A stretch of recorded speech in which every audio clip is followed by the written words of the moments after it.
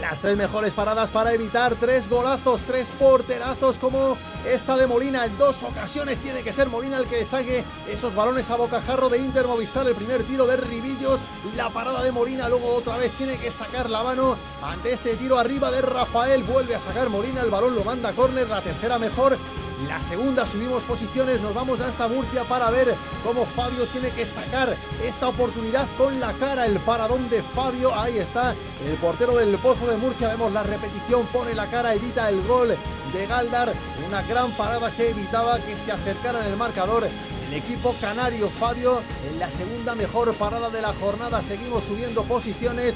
Nos vamos hasta Zaragoza. El partido en la pista azul. Arturo hacia esta parada. Vaya mano derecha que saca Arturo. El tiro de Cuco a boca jarro. Arturo que mete la mano derecha. Banda el balón a córner. Ahí está la repetición. La mejor parada es la de Arturo.